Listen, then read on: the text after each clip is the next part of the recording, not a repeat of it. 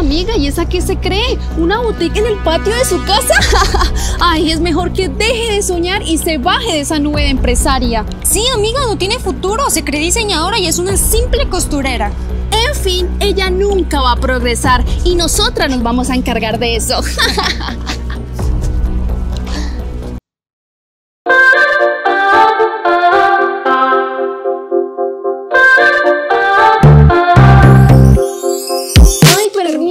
voy primero. Ash. Hola, amiguis.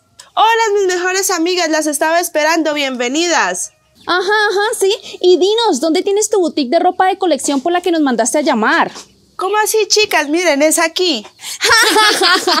¿De cuándo acá una boutique de colección está situada en el patio de una casa?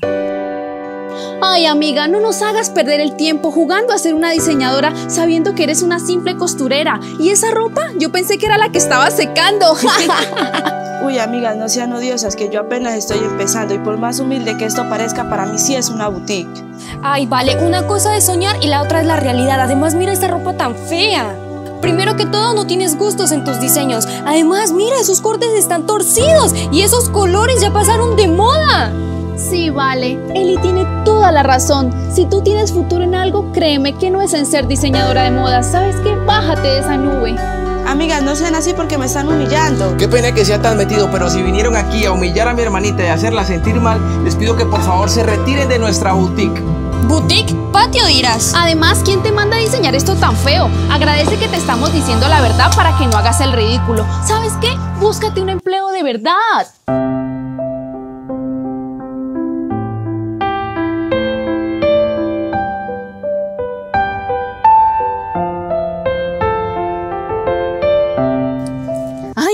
Amiga, ¿y esa qué se cree? ¿Una boutique en el patio de su casa? Ay, es mejor que deje de soñar y se baje de esa nube de empresaria. Sí, amiga, no tiene futuro. Se cree diseñadora y es una simple costurera. En fin, ella nunca va a progresar y nosotras nos vamos a encargar de eso.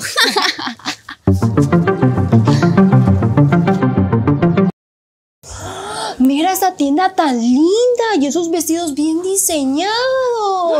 Mira, allá está Germán. Hola, Germán. Señoritas, qué gusto verlas después de tanto tiempo. Bienvenidas a la Boutique Vale. ¿Desean llevar algún vestido en especial?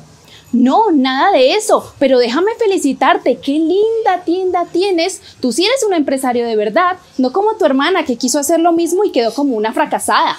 Muchísimas gracias por ese cumplido, Laura, pero entonces, si no vienen a comprar, ¿a qué se debe el honor de su visita? La verdad es que vinimos en busca de trabajo, ya que nos quedamos sin empleo y además tenemos muchísimas deudas. Sí, por favor, vea, nosotras nos portamos bien. Señoritas, lo que pasa es que ustedes están confundidas porque yo no soy el dueño de este lugar. Ya para el tipo de trámites de contrataciones, déjenme llamarles a la dueña de este establecimiento.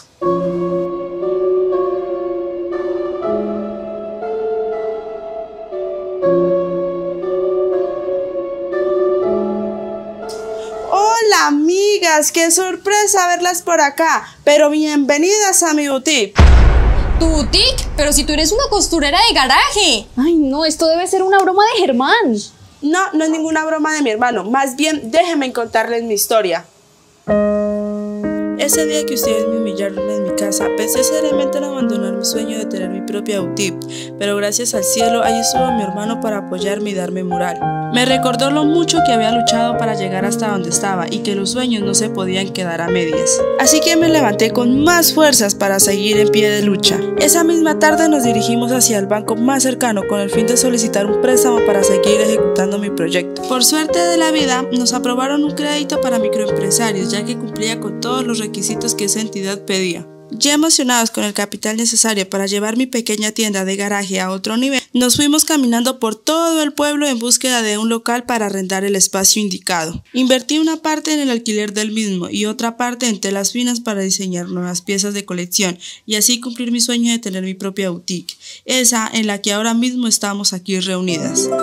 Pues déjame decirte que tú eres una suertuda, porque sin la ayuda de tu hermano no hubiera salido adelante. Y además veníamos en busca de trabajo, pero si tú eres la jefa ya ni queremos porque tu cosa es muy feo. De igual yo tampoco pensaba darles trabajo porque a personas como ustedes que se la pasan criticando a los que venimos desde abajo, no las quiero en mi tienda. Así que se me largan ya mismo de aquí. Hmm, Pues ¿quién quiere trabajar en este negocio de quinta? Y además estás destinada al fracaso, perdedora. Este video lo hicimos para tomar conciencia en la sociedad. Recuerda nunca subestimar a una persona soñadora, ya que su pasión por alcanzar sus metas será más grande que tus ganas de sabotearle sus cosas. Comparte este video si te llegó esta reflexión.